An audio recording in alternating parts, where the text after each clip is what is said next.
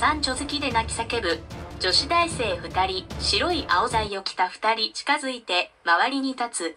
女こんにちは、トリカフです。お会いできて嬉しいです。管理部こんにちは、タイガーキングです。僕も嬉しいです。女子生徒たちは、虎の王。カラカラと笑う。管理部私の馬をご存知ですか？トリカフ去年、私の夫が乗っていた馬です。管理部そうだったんですね。どんな方ですか？トリカフ、米軍少佐ジョン・キャーフ、死にました。管理部ソーリー、サット、トリカフメイアイライト、オンヒム。管理部 OK、ユーアーメル良いですね。いいですよ。トリカフ馬の上に乗る。管理部奥さんを支えて馬に乗せるマム、グッドアイ、ハブユアピクチャー。トリカフグッド、UV イット、管理部、小さい軍事用カメラで撮ろうとするんですが、二人の女子大生馬に乗る。管理部を支える。管理部通り過ぎる男子学生に写真機を渡しながら、プリーズヘルプミー、マイピクチャー、馬に乗った女子大生、管理部などに軽く触れる。管理部振り返る。女子大生いたずらっぽく笑う。管理部一緒に笑う。男子生徒写真を撮り、カメラを返す。管理部3区 U、男子生徒立ち去る。教授と学生馬から降りてくる。3区 U、for you appreciate。管理部1、my pleasure, I will give you the picture, next time。後ろ向きに手綱を緩めて、馬に乗る。女子大生ソーローング、管理部に手を振る。管理部ソーローング、女子大生に手を振って答える。移行、参照。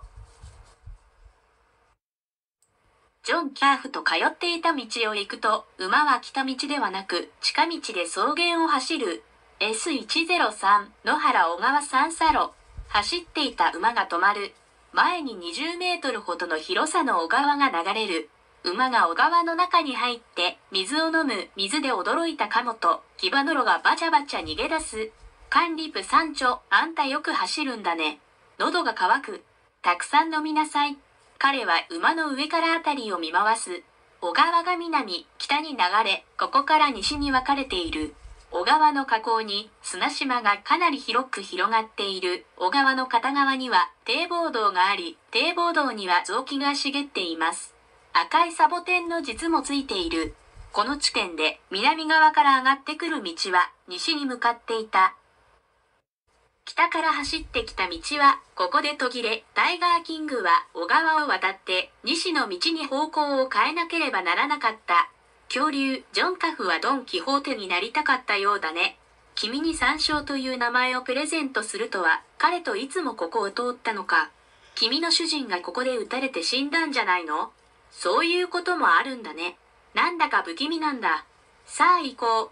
山椒跳ね上がって矢のように走る。S104 コンセット、爆車内。